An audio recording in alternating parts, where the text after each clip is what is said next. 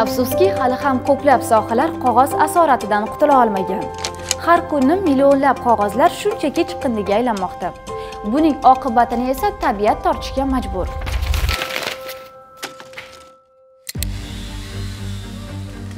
Bir tonna qog'oz ishlab chiqarish uchun taxminan 20 ga yaqin daraxt kesiladi. Bu jarayon yana katta ishchi kuchi energiyasini ham talab etadi. Nima deb o'ylaysiz? Mana shu qog'ozlardan voz kechish vaqti allaqachon kelmadimikan?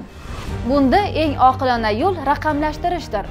Odamlar davlat xizmatlarini olish uchun sarson bo'lmasligi, vaqti va mablag'i tejalishi, turli qog'ozbozliklardan qiynalmasligi uchun bu jarayonlar raqamlashtirildi.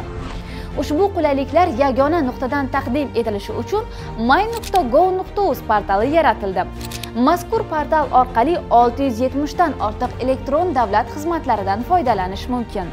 2017-yildan buyon my.go.uz portali orqali ko'rsatilgan xizmatlar natijasida 3000 tonnaga yaqin qog'oz tejaldi.